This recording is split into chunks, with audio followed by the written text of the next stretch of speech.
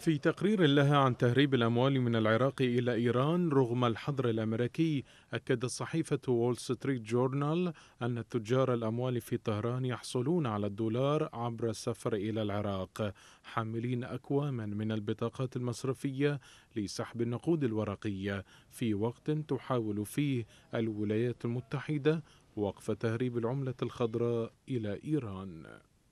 الصحيفة أكدت أن سلطة المعابر الحدودية في العراق أعلنت اعتقال ما لا يقل عن 24 عراقيا يحملون نحو 1200 بطاقة مصرفية محملة بأكثر من 5 ملايين دولار في الشهرين الماضيين في المطارات والمعابر الحدودية أثناء محاولتهم مغادرة البلاد. موضحة أن استخدام بطاقات الائتمان المصرفية في تهريب الدولارات هو تكتيك جديد للمهربين. وول ستريت جورنال بيّنت أن العراق كان لسنوات اقتصادا مدفوعا بالنقود ويعتمد بشكل كبير على المعاملات بالدولار الأمريكي.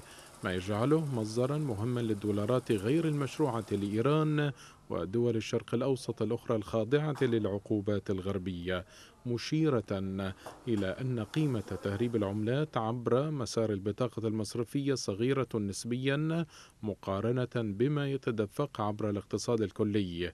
ولا سيما أن أمريكا تمد العراق بالدولار كل بضعة أشهر إلا أن المزيد من الدولارات تتدفق إلكترونيا إلى الخارج عبر البنوك الخاصة في العراق.